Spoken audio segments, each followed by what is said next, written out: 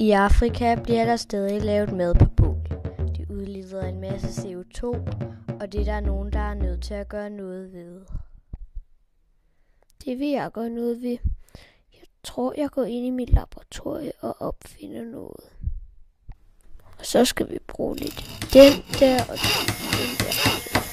Det var godt. Den er færdig. Og så skal den med til Afrika. Når man sidder på sin tynde og laver afføring, så kommer afføringen ned i en tank, hvor der stiger en gas op fra afføringen, som hedder biogas.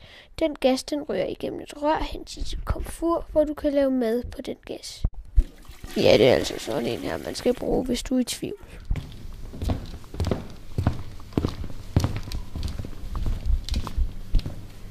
Jeg har med dig. Jeg har faktisk noget til dig. Et komfur og en tank og et toilet. Ja, nu skal du se. Og så lige om lidt, så er det klaret.